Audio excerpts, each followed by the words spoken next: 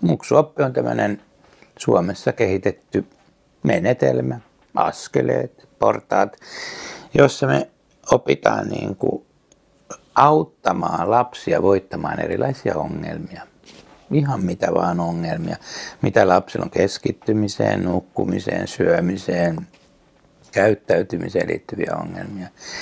Ja mä oon ajatellut, että se muksuoppi on sen verran hyvä idea, että kaikki ainakin tietää sen periaatteen. Ja se on, jos mä saan vähän kärjistää, että lapsilla ei ollenkaan ole ongelmia. Niillä ei ole ongelmia. Niillä on kyllä kuitenkin taitoja, miten niiden pitää oppia. Jokainen ongelma, mikä lapsella on, sä voit periaatteessa ruveta miettimään, mikä taito ton lapsen pitää opetella, ettei sillä olisi sitä ongelmaa. Ja kaikki ongelmat voidaan niin kuin kääntää mielessä täällä, ikään kuin omassa päässä. Silloin tämmöinen ja tämmöinen ongelma, se pelaa liikaa tietokoneella. Tai se, se ei mene ajoissa nukkumaan, tai se ei tee läksyjä, tai se ei halua mennä kouluun, tai, tai se ei syö muuta kuin tiettyjä ruokia. Niin sitten sä sanot, okei, okay. Mikä taito sen pitäisi oppia?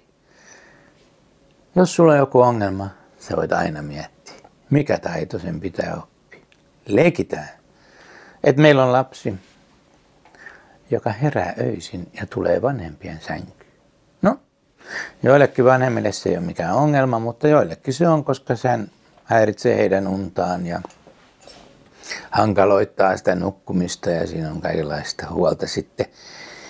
Niin he haluaisi, että se lapsi ei tulisi sinne, oma, vaan että se oppisi nukkumaan omassa sängyssä aamuun asti tarkemmin ehkä vielä voitaisiin sanoa, että se lapsi oppisi taidon, taidon nukahtaa uudelleen omassa sängyssä, jos hän herää yöllä omassa sängyssä. Se olisi ehkä se taito. Se on taito, mistä voisi lapselle jo jutella. Nyt ei valiteta hänen ongelmastaan mitään, vaan hänen kanssaan niin kuin neuvotellaan, mikä on se taito, minkä vanhemmat haluaa hänen oppivan. Ja sitten tehdään siitä vielä kiva projekti, niin että sen taidon oppiminen olisi jopa hauskaa.